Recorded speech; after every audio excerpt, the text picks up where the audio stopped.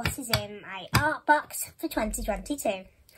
So I'm really, really happy about this video because I've wanted to do it for a very long time and I've never gotten around to doing it. So very excited to show you what's in my art box. On the top of it, like I I'm not gonna lie, I'm probably gonna paint over it at some point. Just, I've got quite a lot of white paint, so I'll probably fill it all with white at the top and maybe do like a proper design on it. But for now, it's alright. So I've got like this little canvas of like, at the time, it was like all my paint like splodged on there. But now I just don't think it goes with it really well. So I have my, like, the thing here, a little label saying art supplies. But yeah, I am definitely going to paint over it at some point. But yeah, just to make it look a bit more fancy, a bit more smarter. But I got this box. I will leave a link down below to any of the art supplies or anything I got in the description and also this box in description because this actually came to a very good price. I can't remember what price it was at the time, but it was it wasn't too expensive. So for what it is, it's like quite big. It's probably the size of me.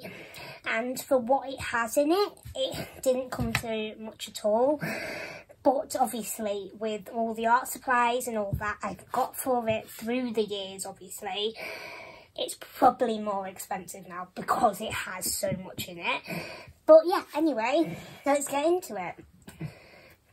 So when you open the lid, I have just the inside of here. I think I am gonna paint this completely white inside or something. Or maybe just um, use some sandpaper to get some of the art off there. But then I'm going to do like a drippy effect with all my art supplies. So like, like that. Because most of them are squirty ones. So if I just do that and then let it go down, I think that'll look really cool. Um, but yeah, so for now, this is what it looks like. Inside, I just have my acrylic paints. I actually got a set of pastel ones. I really, really like this brand, Rico, and they have amazing acrylic paints. I've got pastel ones and metallic ones, and I've nearly used most of the, the metallic ones already. And they're really high coverage. I can't tell you how much I am in love with them. They're just so good, so nice. Um, I've also got in here some of just like paint pots. Obviously they come in different colours. Um, but these, are, like they are amazing. But at the moment I'm kind of trying to go more towards squirt ones because even though these are quick drying and they are amazing, they're really high coverage, I just think that I want some squirt ones so that I'm not using so much of these all the time because when you're trying to paint with them you have to be really careful about like the stuff that you squirt, so like how much you're putting into the plate. Because there is like so so much in here so then you're pouring that all into the plate or whatever you use for putting your paint in, you're using so, so much of the paint because you can't control it. can't control how much you put in as much. Whereas with squirty ones, you definitely can. So I just think they're much better and I'm trying to put myself to that one. These, I think a lot of people will remember I had on my either Green Gracie or the beginning of this channel I did a Hobbycraft art supply haul and this is one of them. There is a gold one in there as well. I haven't used all of these yet because i'm not gonna lie i don't use metallic colors that often. But when i do i definitely go for these more than like any other ones because they are very very good. That is probably because they are by hobbycraft. But they are better to use. And they're very very good. So can't recommend these enough but yeah they're really really good. And then I've got some get this out.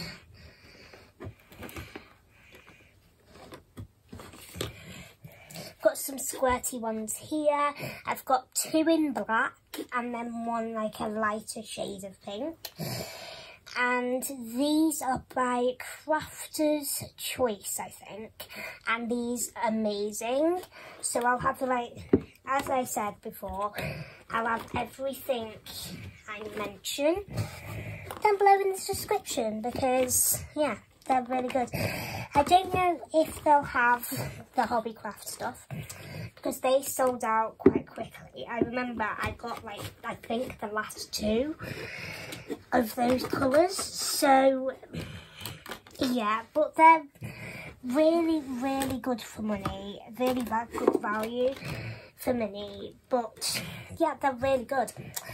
So I've also got this massive tubing and it won't fit down the sides, but it's a massive tube of titanium white because I love white. I use it like all the time to cover up my canvases because I hate wasting my canvases. Um, so I paint over them a lot. So I have my white paint here just to cover them cover over. Talking of canvases, I will show you my collection of bigger canvases in a minute. But the smaller ones I do actually keep in here. Now some of these I am not painting over because I will be using these to put up on my display over there in the new year. Because I actually use the smaller ones for putting on there. So that's what I kind of do. I kind of switch them out every few months or something. So I used to have this one on like all year round. You Fell Asleep by Rachel Green. I really like how this came out. Um, but I kind of wanted like a different thing on there. I am actually going to change out like what I've got on there already because I'm not quite sure of how it came out. I think I wrote the wrong thing on there, so I'm not quite happy with that. I am Welsh, so I had this, and I had to do it for my Welsh lessons, but I'm not very happy with how it turned out. So I am having to go over it a little bit again, but I am going to turn it into a Welsh thing because I think that's really good, especially with March because obviously St David's Day I want something Welsh in my room for that. Hashtag Moyesween. This is definitely going up this year. Um, I'm really happy with how this turned out. And obviously, hashtag Moyesmas. That is going up as well. I'll probably paint over the wording of these ones. and do them again because I'm not entirely happy with how the wording came out. Uh, so I'll probably put something on there that's a bit better. But those are definitely not being painted over. I just like to keep them in my art box because I don't need them on display. So any small canvases like this, I will keep in my art box just for now. I have some labels in here. I don't know why because I have a perfectly good label maker, but there you go. I have my sketching pencils. These are really good. I cannot recommend sketching pencils enough because they are so good. This one specifically comes with all the sketching pencils you need, some charcoal um, blending st stubs, I think. Can't remember what that's for, but yeah, a blade for your blending stumps. Bend, bendable eraser, I think. Moldable eraser, something eraser.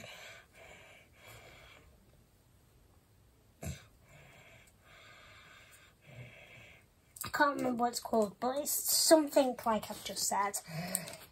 And that will come in handy when you really want to get into the small grooves. I haven't used it quite yet, but they're really good, I've heard. And then just a normal eraser in there. So yeah, it comes with quite a lot for your money. And yeah, I really like it. I do have some blending stumps in my pencil case for school because I have an art pencil case because I take art for GCSEs. So I have that one in there, so that's why there's not many in this one, because I am using them for school. It never does, does up. I'm not good at doing things up, that's why. Um, I've got some duct tape, all my paintbrushes in here, sandpaper, watercolours, colouring pencils, literally anything. I do actually want to say to you about something. If you have loads of paint on your brushes, like I had so much paint on this brush and I literally couldn't get rid of it with like anything. But I actually got it off by soaking it and some other brushes in nail varnish remover that actually gets off the paint. So if you're an artist and you've clicked on this video and you want to know how to get paint off your brushes, then I highly recommend soaking them or it on in nail varnish remover. It really helps, believe me. Um, so yeah, that's that. I also have my painting apron in there, my plates, and then I'd normally have my mixing platey thingamajiggy. But I don't know where it's gone, it's probably somewhere else. But that's what's in my art box. On top of it, I normally keep my blanket because I actually have my art box underneath my desk and I like to put my feet on it. So I thought might as well cover it with the blanket because it gets the blanket out the way. And it's also a nice surface to put your feet on so that's what I do with it. But I do really want to paint over the top. So if you give me any suggestions on Instagram DM me any suggestions you have to cover my art box with. That would be highly appreciated. And now I'm going to show you where I keep my canvases because they cannot fit in this one. I've tried and you will see how many canvases I have and you will understand. So I'll show you now. So this is somewhere that I haven't shown you in a long time and I've actually completely decorated this space to like literally be completely different. I am going to be doing a room tour soon, hopefully in the end of February, but I will show you this now. So under here, I actually keep two frames at the bottom, but all of my canvases so that I can paint over them. So I've first got this one. I am going to be painting over all of these. But I just wasn't too happy about how this thing came out. So I am going to be painting over it, unfortunately, because, yeah, I wasn't particularly happy with that one. This one I am happy with. It's just, it's a bit weird because it's not my favourite song anymore. But this was my favourite song and by Ariana Grande and I thought I'd do a Mean Girls font and stuff, but you can tell I've written it. That's the only thing with this one. So I kind of needed to practice a little bit more with that font before going on to it. So I am going to be doing that whole thing again. You remember this? This went on my old wardrobe and now I'm not vibing with it. I absolutely love Friends. Don't get me wrong. I am obsessed with Friends, but I'm just not so happy about that anymore. This was this way, and this was going to be a birthday present for my grandma. Um, I'm going to paint over it and I'm going to redo it because I'm not happy with the colour I've painted it at all. And I'm not happy about the whiteness. Like, that's just really, really weird. So I'm going to paint all over it again. Um, yeah, I've got to get around to doing that at some point. Um, probably give it to her for a Mother's Day present, maybe. I don't know. Then I've got this one, which was at the beach. I'm really happy with how this came out. I just don't know if it goes with the vibe that I was planning for it. Because I wanted to do some stippling, which I'm really happy about here. I don't know about there or the sun. So I'm going to be definitely doing something different with that. This one was like a whole mountain with a sunset. Does that look like a sunset? Nope. So, painting over it. It's good this because it's making me see them again as well and kind of realising where I went wrong and what I should do next time. This was going to be some like ice cream melting don't get me wrong, I'm really happy with the concept, but I feel like the, it, the drips should have been a bit longer, so I'm just a bit devastated that it didn't go on for longer. I'm probably going to do it again, but like do actual drips on it to make it look a bit better. Um, but then maybe that should be the design for my art box actually. That'd be cute, wouldn't it? and this is the last one. I decided to do a whole thing of my grandma on here. A portrait of my grandma. She does not look like a cartoon. Definitely painted over that. So I think they're all of them. So let's put them back.